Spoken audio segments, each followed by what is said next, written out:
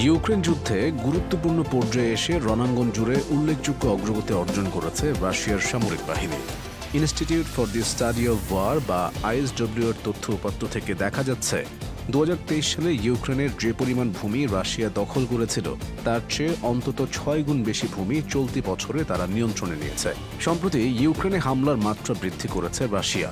এর মাঝেই জানা গেছে কিয়েভকে লক্ষ্য করে ফের আরেকটি পরীক্ষামূলক হাইপারসনিক ব্যালিস্টিক ক্ষেপণাস্ত্র নিক্ষেপ করতে পারে মস্কো।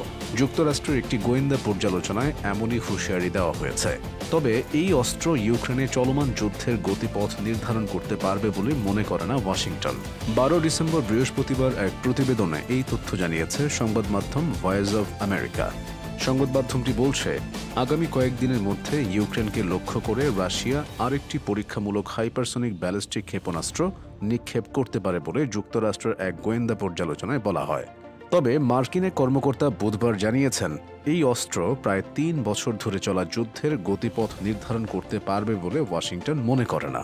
এর আগে রাশিয়া গত একুশ নভেম্বর ইউক্রেনের দেনিপ্র শহরে প্রথমবার তাদের ওরেশনি ক্ষেপণাস্ত্র দিয়ে হামলা চালায়। প্রেসিডেন্ট ভ্লাদিমির পুতিন এই আক্রমণকে যুক্তরাষ্ট্র ও ব্রিটেনের সরবরাহ করা দূরপাল্লার ক্ষেপণাস্ত্র দিয়ে রাশিয়ার গভীরে হামলার জবাব হিসেবে অভিহিত করেছিলেন। কিছু পশ্চিমা বিশেষজ্ঞ বলেছেন, ওরেশনিকের বৈশিষ্ট্য হচ্ছে এটা একসঙ্গে একাধিক ওয়ারহেড বহন করতে পারে, যেগুলো একই সময় ভিন্ন লক্ষ্যবস্তুতে আঘাত হানতে পারে। যে সক্ষমতা সাধারণত দূরপাল্লার আন্তঃমহাদেশীয় ব্যালিস্টিক ক্ষেপণাস্ত্রের থাকে। যুক্তরাষ্ট্রের উচ্চ পর্যায়ের এক কর্মকর্তা সাংবাদিকদের বলেন, আমাদের মূল্যায়ন অনুযায়ী ওরেশনিক যুদ্ধক্ষেত্রে যুদ্ধের গতিপথ নির্ধারণ করতে পারবে না। এটা মূলত ইউক্রেনে ত্রাস সৃষ্টি করার আরেকটি রুশ প্রচেষ্টা যেটা ব্যর্থ হবে। অবশ্য রাশিয়ার কাছ থেকে এ বিষয়ে তাৎক্ষণিক কোনো প্রতিক্রিয়া জানা যায়নি। প্রেসিডেন্ট পুতিন এর আগে বলেছিলেন, ইউক্রেন যদি দূরপাল্লার পশ্চিমা ক্ষেপণাস্ত্র দিয়ে রুশ ভূখণ্ডে আঘাত হানতে থাকে, তাহলে রাশিয়া আবার ওরেশনি ক্ষেপণাস্ত্র ব্যবহার করতে পারে। এবং সেটি সম্ভবত কিয়েভের সিদ্ধান্ত গ্রহণের কেন্দ্রগুলো লক্ষ্য করে ছোড়া হবে।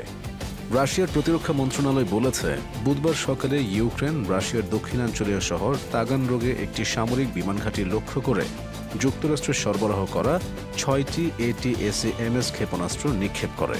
মস্কো এই আক্রমণের জবাব দেওয়ার প্রতিশ্রুতিও দিয়েছে। রাশিয়া বলছে, ওই ছয়টি ক্ষেপণাস্ত্রই ভূপাতিত করা হয়েছে। তবে ক্ষেপণাস্ত্রের ধ্বংসাবশেষ মাটিতে আশ্রয় পড়ার পর কয়েকজন আহত হয়েছেন।